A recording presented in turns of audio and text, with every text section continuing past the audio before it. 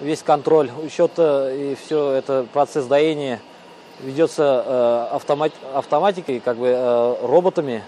Космос на селе, да и только высокие технологии дошли до сельского хозяйства. На ферме Райнура Ахметова тысячи голов крупнорогатого скота. И всем этим огромным хозяйством, по сути, управляет один человек. Тот, кто сидит за компьютером и нажимает на кнопку. А куда данные выходят? Данные выходят в компьютер. Можно и удаленным э, доступом управлять и посмотреть. Это корова, которая дает молоко, а это молочный продукт от коровы, которая дает молоко. Новая система ветеринарного контроля сможет отследить всю цепочку производства продуктов животного происхождения. Молоко, мясо, рыба и их производные. Все, что попадает на прилавки магазинов, теперь будут иметь электронный документ, содержащий практически всю информацию о товаре. Для тех, кто с компьютером давно уже наты, заполнение электронных бланков через интернет не составит большого труда. Фермеры надеются, что электронная система «Меркурий» – это их шанс открыть новые горизонты. Все через компьютер смогут увидеть э, хороший товар. Главное, чтобы сеть не подкачала. Чтобы новая система с таким космическим названием, как Меркурий, хорошо работала на Земле, нужно установить бесперебойную связь с внешним миром. Для этого нужно, чтобы в каждой даже самой отдаленной деревне исправно работал интернет. Ну вот, опять не ловят, нет сети. Похоже, что сельским жителям вскоре придется упражняться в прыжках в высоту или же в лазании по деревьям. Говорят, что он если залезть вон на то дерево, то с его макушки хорошо ловит. Однозначно работать проще, быстрее. И даже если продукцию ее уже оформляют на том конце, так грубо скажем, мы уже видим, что к нам приедет, в каком-то ноже приедет. Торговые сети в Татарстане уже на низком старте. С начала этого года многие отечественные производители уже перешли на новый формат. К примеру, производители колбасных изделий уже отправляют данные через интернет.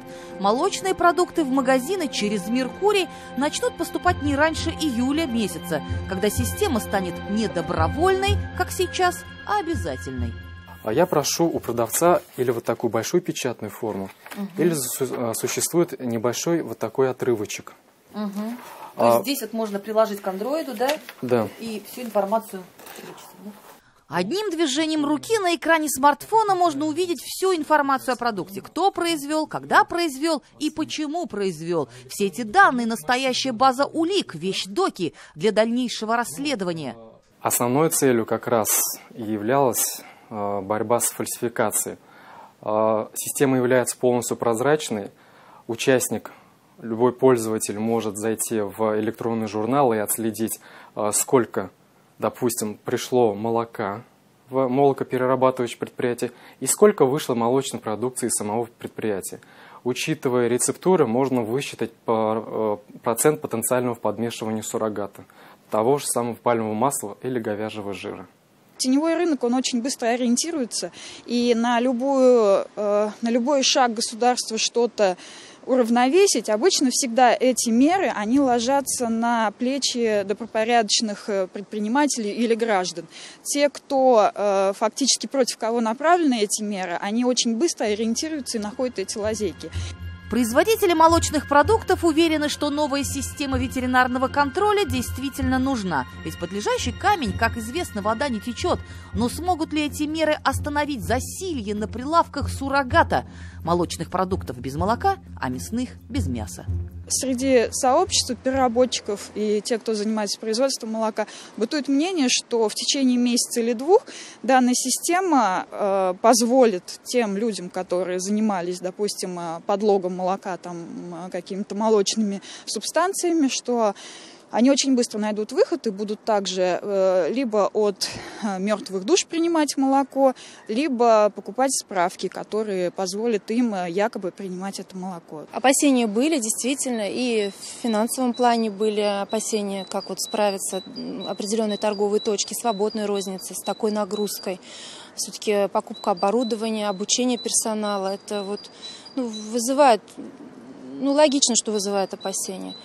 Нечто подобное в России уже внедряли. Меркурий сегодня сравнивают с системой электронного контроля алкогольной продукции «Егоис». «Егоис», кстати, также встретили настороженно, но спустя три года стали заметны положительные тенденции. Нелегальным производителям с поддельным алкоголем в магазины уже не попасть. Через кассы проходит только акцизный товар.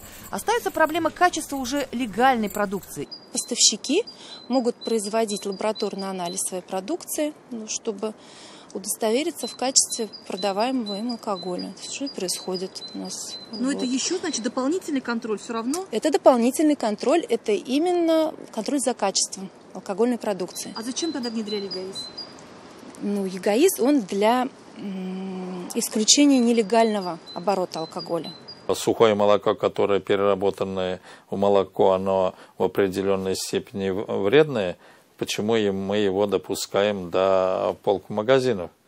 Или масло, то же самое. И кто здесь э, в доме, как говорится, хозяин? Те люди, которые занимаются фальсифицированной продукцией, или э, государство, которое разрешает, это которое все. разрешает все это делать.